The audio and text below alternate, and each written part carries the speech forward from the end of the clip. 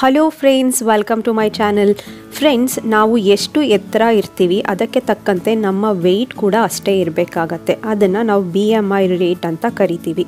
ಅದರಲ್ಲಿ ನಮ್ಮಲ್ಲಿ ತುಂಬ ಜನ ತುಂಬ ಸಣ್ಣಕ್ಕೆ ಇರ್ತೀವಿ. ನಾವು ಎಷ್ಟೇ ತಿಂದರೂ ಕೂಡ ನಮಗೆ ತೂಕ ಹೆಚ್ಚಾಗ್ತಾನೆ ಇರಲ್ಲ. ಇವತ್ತಿನ ವಿಡಿಯೋದಲ್ಲಿ ನಾನು ನಿಮ್ಮೆಲ್ಲರಿಗೂ ಆರೋಗ್ಯಕರವಾಗಿ ಹೇಗೆ ಮೂರರಿಂದ ನಾಲ್ಕು ಕೆ ಜಿಯಷ್ಟು ನಮ್ಮ ವೆಯ್ಟನ್ನು ಜಾಸ್ತಿ ಮಾಡ್ಕೋಬಹುದು ಒಂದು ವಾರದಲ್ಲಿ ಅಂತ ತೋರಿಸ್ತಾ ಇದ್ದೀನಿ. ಈ ವಿಡಿಯೋ ಶುರು ಮಾಡೋಕ್ಕಿಂತ ಮುಂಚೆ ಪ್ಲೀಸ್ ಫ್ರೆಂಡ್ಸ್, ಈ ವಿಡಿಯೋಗೆ ಲೈಕ್ ಮಾಡಿ, ಇನ್ನೂ ಸಬ್ಸ್ಕ್ರೈಬ್ ಮಾಡ್ಕೊಂಡಿಲ್ಲ ಅಂದರೆ ಸಬ್ಸ್ಕ್ರೈಬ್ ಮಾಡ್ಕೊಳ್ಳಿ. ಬನ್ನಿ, ಅದನ್ನು ಹೇಗೆ ಮಾಡೋದಂತ ನೋಡೋಣ. ಇವತ್ತು ನಾನು ತೋರಿಸ್ತಿರೋ ಈ ಸ್ಮೂತಿ ಅಥವಾ ಜ್ಯೂಸನ್ನು ಮಾಡೋದಕ್ಕೆ ನಿಮಗೆ ಅವಕಾಡೋ ಫ್ರೂಟ್ ಬೇಕಾಗತ್ತೆ. ಇದನ್ನು ಇಂಡಿಯಾದಲ್ಲಿ ಬಟರ್ ಫ್ರೂಟ್ ಅಂತಲೂ ಕರೀತಾರೆ. ನೀವು ಯಾವುದೇ ಒಂದು ತರಕಾರಿ ಅಂಗಡಿಗೆ ಹೋಗಿ ಬಟರ್ ಫ್ರೂಟ್ ಕೊಡಿ ಅಂತ ಕೇಳಿದ್ರೆ ಅವ್ರು ಕೊಡ್ತಾರೆ. ಇದನ್ನು ಇಂಗ್ಲೀಷಲ್ಲಿ ಅವಕಾಡೋ ಅಂತಾರೆ. ಈ ಥರ ಕಚ್ಚಾ ಅಂದರೆ ರೈಪ್ ಆಗದಿರೋದು ಈ ಥರ ಕಾಣಿಸುತ್ತೆ ಅವಕಾಡೋ. ಈ ಥರ ಗ್ರೀನ್ ಕಲರಲ್ಲಿ ಇರುತ್ತೆ. ಇದರ ಅರ್ಥ ಇದು ಯೂಸ್ ಮಾಡೋದಕ್ಕೆ ಇನ್ನೂ ರೆಡಿ ಇಲ್ಲ ಅಂತ. ಇದು ಫುಲ್ ಒಂದು ಕಪ್ಪು ಕಲರ್ ಬರಬೇಕು. ಇವಾಗ ನಾನು ತೋರಿಸ್ತಿದ್ದೀನಲ್ಲ ಈ ಕಲ್ಲರ್ ಬಂದಿದ್ದರೆ ಇದು ಫುಲ್ ಹಣ್ಣಾಗಿದೆ. ಇದನ್ನು ನಾವು ತಕ್ಷಣ ಯೂಸ್ ಮಾಡಬಹುದು. ಸೊ ಸದ್ಯಕ್ಕೆ ಅದು ಇನ್ನೂ ರೈಪ್ ಆಗಿಲ್ಲ ಅಲ್ಲ, ಅದನ್ನು ಒಂದು ಎರಡು ದಿನ ಬಿಟ್ಕೊಂಡು ಯೂಸ್ ಮಾಡ್ತೀನಿ. ಇವಾಗ ಇದರಿಂದ ನಾವು ಆ ಜ್ಯೂಸನ್ನು ಮಾಡೋಣ, ಬನ್ನಿ. ಸೊ ಅವಕಾಡೋದಲ್ಲಿ ಒಂದು ಸೀಡ್ ಇರುತ್ತೆ, ಮಧ್ಯದಲ್ಲಿ ಒಂದು ದಪ್ಪದು. ಅದನ್ನು ನೀವು ಈ ರೀತಿ ಕಟ್ ಮಾಡಿಬಿಟ್ಟು ಅದನ್ನು ಸ್ವಲ್ಪ ಟ್ವಿಸ್ಟ್ ಮಾಡಿ ಆವಾಗ ನಿಮಗೆ ಅವಕಾಡೋ ಓಪನ್ ಆಗುತ್ತೆ. ಸೊ ಆ ಸೀಡನ್ನು ನಾವು ಇವಾಗ ತೆಗೆದಾಕಬೇಕು. ಒಂದು ಸ್ಪೂನ್ ತಗೊಂಡು ನೀವು ಆ ಸೀಡನ್ನು ತೆಗೆದು ಹಾಕಿ. ಸೊ ಇವಾಗ ಅದೇ ಸ್ಪೂನಿಂದ ನೀವು ಇದನ್ನು ಸ್ಕೂಪ್ ಮಾಡೋ ಥರ ಅದನ್ನು ತಗೊಬೇಕು. ಸೊ ಫ್ರೆಂಡ್ಸ್ ಇಲ್ಲಿ ಇವಾಗ ಇದನ್ನು ನಾವು ಫ್ರೂಟ್ಸನ್ನು ನಾವು ಜ್ಯೂಸ್ ಮಾಡ್ಕೊಬೇಕಲ್ಲ, ಅದಕ್ಕೆ ನೀವು ಮಿಕ್ಸರ್ ಗ್ರೈಂಡರ್ಗೆ ಅದನ್ನೆಲ್ಲದನ್ನು ಸ್ಪೂನಿಂದ ತಗೊಂಡು ಆ ಮಿಕ್ಸರ್ ಗ್ರೈಂಡರ್ಗೆ ಹಾಕ್ಕೊಳ್ತೀನಿ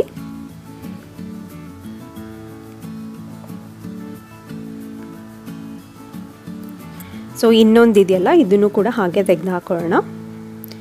ಫ್ರೆಂಡ್ಸ್ ಇದನ್ನು ಕಂಟಿನ್ಯೂಸ್ ನೀವು ಒಂದು ವಾರ ಮಾಡಲೇಬೇಕು. ಒಂದು ವಾರ ಕುಡೀರಿ ಸಾಕು.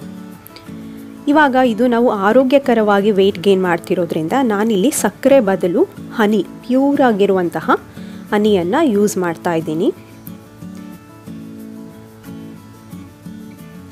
ಇದನ್ನು ಅಷ್ಟೇ, ಹನಿ ಎಷ್ಟು ಹಾಕೊಬೇಕು ಅಂದರೆ ನೀವು ಒಂದು ಸ್ಪೂನಷ್ಟು ಹನಿ ಹಾಕೊಂಡ್ರೆ ಸಾಕಾಗತ್ತೆ.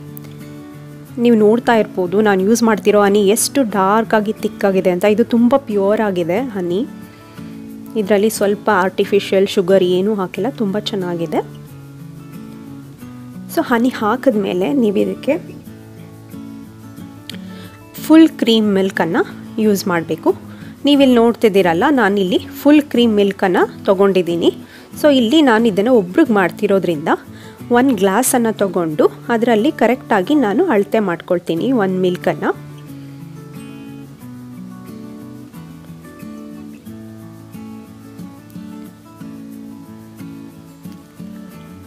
ಇವಾಗ ಆ ಮಿಲ್ಕನ್ನು ಇವಾಗ ಆ ಮಿಕ್ಸರ್ ಗ್ರೈಂಡರ್ಗೆ ಸೇರಿಸ್ಕೊಂಡು ನೀವು ಇದನ್ನು ಎಷ್ಟು ತುಂಬ ಸ್ಮೂತ್ ಆಗೋವರೆಗೂ ನೀವು ಇದನ್ನು ರುಬ್ಬಬೇಕು ಒಂದು ಟೂ ಟು ತ್ರೀ ಮಿನಿಟ್ಸ್ ಇದನ್ನು ಮಿಕ್ಸರ್ ಗ್ರೈಂಡಲ್ಲಿ ರುಬ್ಬಿ.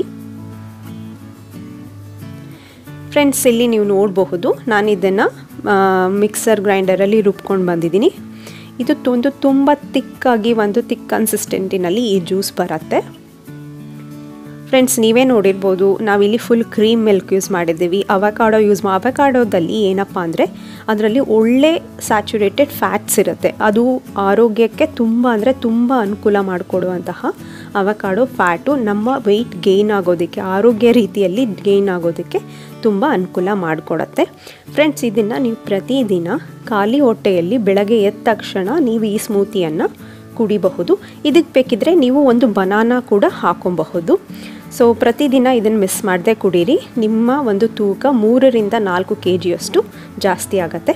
ಫ್ರೆಂಡ್ಸ್, ಈ ವಿಡಿಯೋ ನಿಮಗೆ ಉಪಯುಕ್ತ ಅನಿಸಿದ್ರೆ ಈ ವಿಡಿಯೋಗೆ ಪ್ಲೀಸ್ ಲೈಕ್ ಮಾಡಿ. ನನ್ನ ಚಾನಲ್ಗೆ ಸಬ್ಸ್ಕ್ರೈಬ್ ಆಗಿಲ್ಲ ಅಂದರೆ ಸಬ್ಸ್ಕ್ರೈಬ್ ಮಾಡ್ಕೊಳ್ಳಿ.